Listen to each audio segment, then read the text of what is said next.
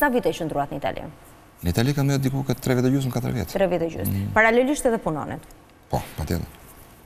Ishin punë të rënda? Shumë të rënda, disa po, disa jo. Po për qenë te jeta e natës, ngaqë punoja në restorante, në lokale, në bare, në gjëra, po nganjëherë kur ndodhesha bosh, po punoja edhe, kam punuar edhe murator. Edhe murator? Po. Ia tregoje këto prindërve? Jo. Jo? Po më vonë? Po. Dhe çfarë të thoshin? Po sepse u ktheva, pa gjymtuar, pa këmbë e duar të thyra, kështu që mund t'ua thosha. Shikoheshin ndryshe shqiptarët në atë kohë në Itali? Ishte menjëherë eksodi i madh, kur Shqipëria vinte nga izolimi. Jo, gjithmonë është ideja se me kë, me kë, kë frekuenton, cilët janë njerëzit të cilët frekuenton.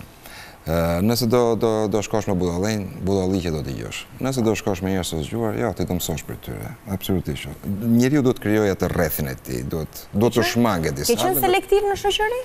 Po pa dyshim. Gjithmonë. Po pa dyshim ka pasur, ka pasur njerëz të cilët kanë dashur të bëjnë, kur janë 20 vjeç, çfarë s'duan të bëjnë. U largohesh, pse, se ti mendon që ke një jetë para, ke një familje që të pret, diku edhe duhet ta frenosh disi veten tënde.